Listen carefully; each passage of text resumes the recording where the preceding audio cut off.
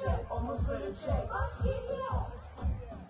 Çık çuva, çık çuva, çık çuva. Arkadaşım eşek.